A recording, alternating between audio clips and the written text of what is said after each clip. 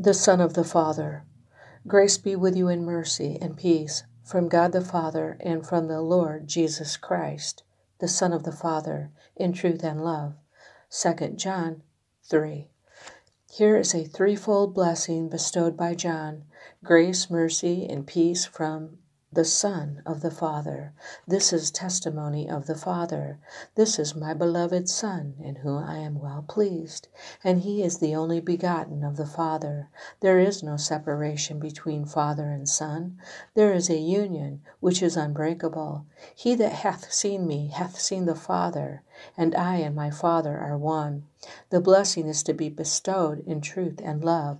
Truth without love may be cold, hard, harsh.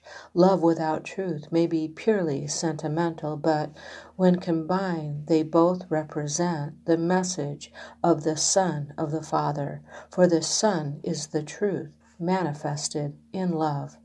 We pray, our Father, that this benediction of grace, mercy, and peace may rest upon us this day as we meditate upon the Son of the Father. Amen. God bless you all and keep the faith.